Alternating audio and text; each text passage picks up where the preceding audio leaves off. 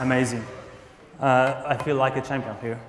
Uh, I will grab my water, so give me a second. Uh, so many familiar faces. Hello, Peter. It's good to take family on the conference. they stay with me. So, I'm Adrian, and I will be talking today about how we can maximize revenue with the multi-channel customer experience. So many good speakers here, and me, and I hope that the next slide will be the most interesting, the most smartest from my whole presentation, because it will be about me. So, that's me. I love to travel. I love uh, Finland. I love exploring new places. Uh, I'm also freak of the gadget. I like, I like very much every technology that is, comes around me. So I got more than five smartphones, I got three smartwatches, I have electronic vacuum cleaner, and I also like all the digital software. That's why I'm using also so, uh, Frosmo. So what about me in my commercial world? I'm working with Play. For those who don't know Play, we are on the second place in the Poland. We have more than 25 market share with 10 years experience. We are startups, so we are also focused on user experience from very beginning. And in Play, I'm holding the position of uh, senior internet marketing manager, and I'm responsible from one hand for the website, for our self-care, everything stuff related with optimize the website, and from the other with the performance marketing, analytics, user experience, and so on. And what more important about me, I recommend every, everyone to go on a bike to the work. I made more than 3,000 kilometers every year. And that's feel me stronger and more, you know, focus on my work. So what's the agenda for today? I will be talking about the multi-channel about all the channels that we are thinking about. Then a little bit about multi-channel strategy, then go to the customer journey because it's very related with the multi-channel. And what else will be about what else? So, two minutes left. Keep going. It's quite okay. So, what is a multi-channel? What is a channel? Because nowadays we're using words like cross-channel. We're using words like uh, omni-channel, and we have this multi-channel. What's about these channels? So channels is when you just separate them. The cross-channel is about how users interact with the different device. So we have mobile, we have apps, we have website, we have smart TV. And the clue is to get this customer know what he explore and what he want to find in our content. Then we have the omni-channel. I think omni-channel is a step forward with the biggest idea how to interact with different channels and give the best value for the customer to decide on which channel is the best and want to buy. And we have the multi-channel marketing. And what is a multi-channel? Multi-channel is that you can interact with every single channel. And every of this channel, like social media, physical location, website, could have own strategy. And we optimize these channels to the best effort and give the best value for the customers. What is important in this that we give opportunity to the clients to decide with which channel they want to interact, which channel they prefer with communicate with our brand.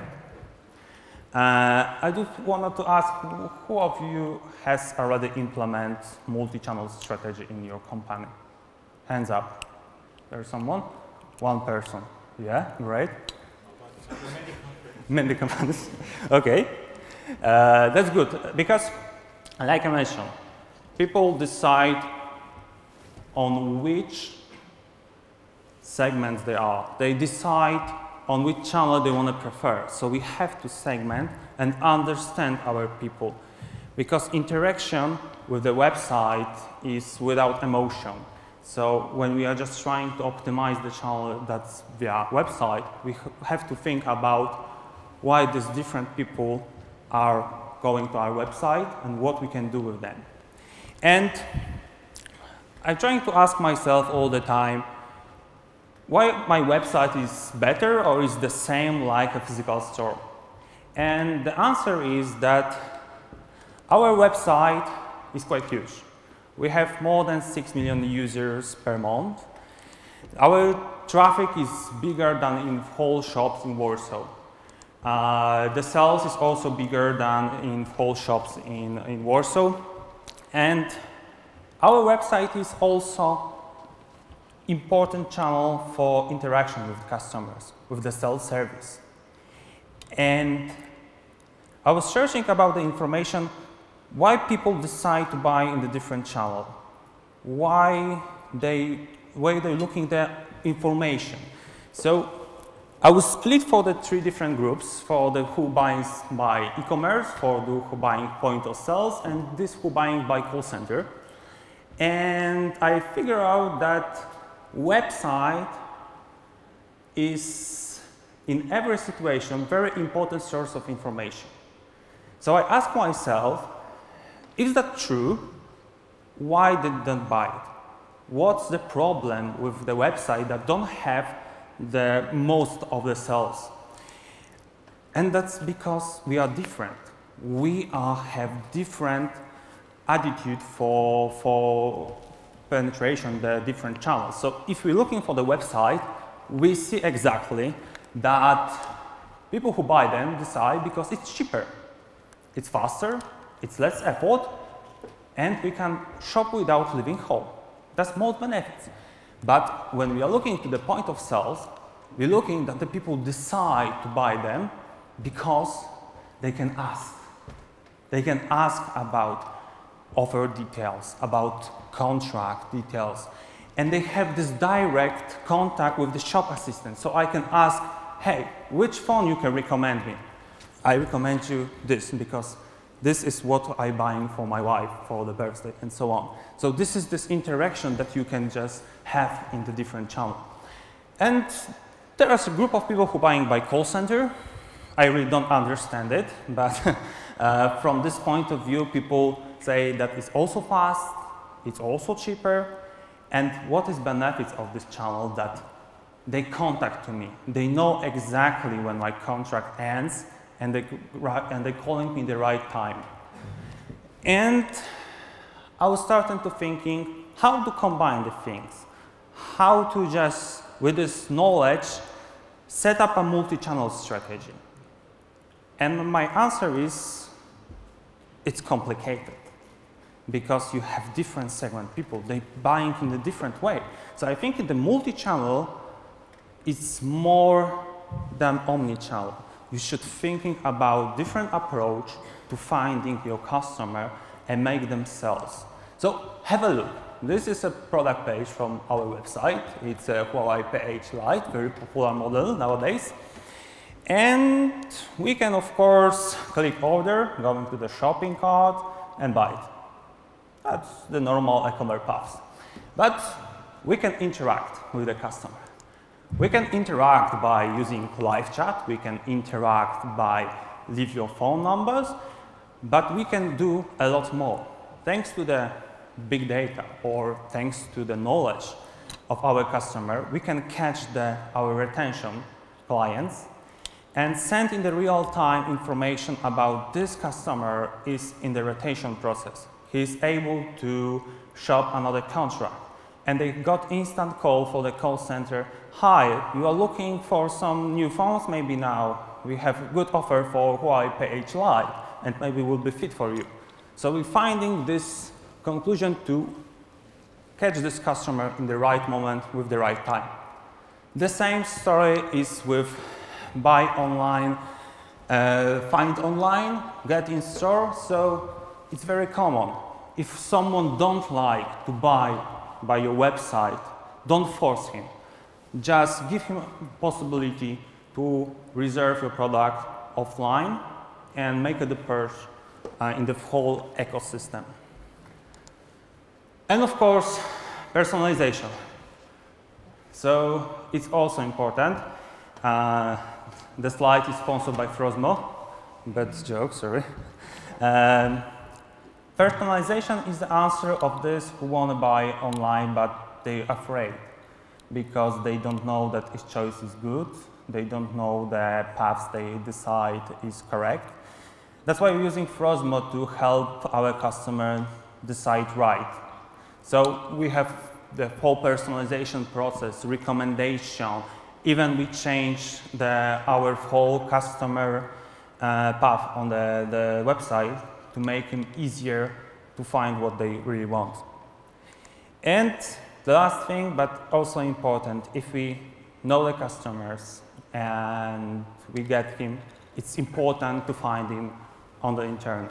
We can use a lot of technology. This is some example, like we can use uh, email remarketing, we can use display remarketing, we can use our self-code to send a notification. But if you catch the customer, it's very important to, do, to don't leave him with the other brand. And the customer journey. Customer journey is also very strict with multi-channel because when we optimize our online campaigns, we had to know which channel, which source give you the best value and how to find them uh, on the internet. So we're using individual attribution. So in the old one world, there was so many interaction using last click attribution and we see that the search gets all credits, that search gets the conversion, but it's not true. When we're going deeper and understand the whole journey of our customer, we see that was a lot of interaction before. We have VOD, we have contacts, mailing, Facebook, and the individual attribution is about giving the right wages to the right source. So, what is advantages of using individual attribution? First of all, it shows and measure all interactions on the shopping path. The second one, the more effective channels in the sales gets the better credit. And what is important to get the whole picture, it should be based on the econometric models. So it should know how every single uh, cookie, how every interaction also have this impact on sales offline. And how it looks on the play, we know that multi-channel is very important when we optimize our media plans because in the model total orders with post-click and post-view, more than 60% orders comes from multi-channel. In the total orders post-click and new services, we have more than 40%. So it's strictly important to optimize your budget and allocate between the partners and source to get the best results. Of course, we don't know that the individual model is the best because no one knows. We are living in the world that we don't have this possibility to check. We don't have two parallel worlds to decide that the models is the best, but we should choose one and believe it and optimize. Uh, what is really important uh, from my perspective is also the contribution of sales. We should know that what we're doing online or what we're doing offline is strictly has impact on both channels. So like you uh, like you see on the presentation, offline communication also had impact on online and in other words, online had also impact of offline sales and it's on based on our econometrics models too. And last thing to, to remember from the customer journey that um, every category has different impact. I'm talking about telecommunication company, but if we're just going to the MC, FMCG uh, category, we see that the uh, return from online media is 20% higher than average return on other media. So when we just combine customer journey, when we're trying to find out the right paths to the, our orders, we should know what's also happened in the offline world to get the whole picture. And this is around the multi-channel. What else? So I think that very important for us to know that multi-channel is already there. Everybody has some kind of multi-channel strategy. We optimize our source uh, channels, but the future is more about omni-channel and connecting the customer across multiple touch points. And I got three examples of good, very good, I think the best one, uh, multi-channel strategy. And one of this is Apple, of course. I just asking myself, why Apple always win? Why Apple always win? Because, because the days that we are just selling stuff are gone. That's true. We don't selling just stuff. Today, in the race of the customer, we have to, as a marketers, create entire ecosystem to order the best value for them. It's, it's a clue, and Apple do it very, very well. Uh, they, you have this full, full experience with the Apple because you go to the store and you have this experience that product is around you. It's not about selling the product. It's about everything is with the customer. So you are going to website, you can reserve your product, go to the, uh, to the physical store, and that journey never ends. Because when you buy the product, it's more about the services they have.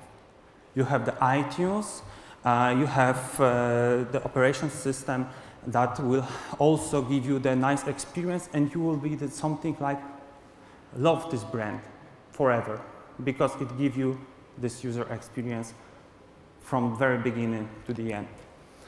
Uh, another example, Rebecca Minkoff. Uh, it's a quite uh, new player on the market. Uh, I recommend to watch the movie on YouTube uh, about uh, the digital transformation. But what this brand do is that he invests in digital platform, he invests in all technology and bring in to the physical store. So you can interact and easily find your clothes, check your size, check on which sector in the shop is. So all this give you this opportunity to that these two worlds of offline and online are connected. So that's the nice idea of creating value. And Burberry, it's small example, but also very nice about how we can do our multi-channel strategy in a different way. They want to just uh, be on the Asia market, but um, it was hard to manage by Facebook, Instagram, and, uh, and other sources of innovation that we are using nowadays. They, that's why they, uh, they decide to use China WeChat and Japan's Line. This completely new source are, goes strictly to the audience in this market. And they find the best, one of the best uh, event in Shanghai around this uh, application. I also strongly recommend to watch the, the, the video I didn't upload this here because I believe we don't have time too much to, to watch all this stuff. And that's almost the end.